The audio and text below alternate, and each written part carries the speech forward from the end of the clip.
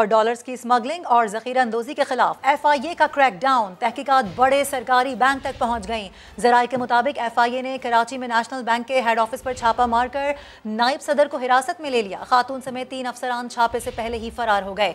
तर्जुमान national bank F I A छापे से लाइल निकले।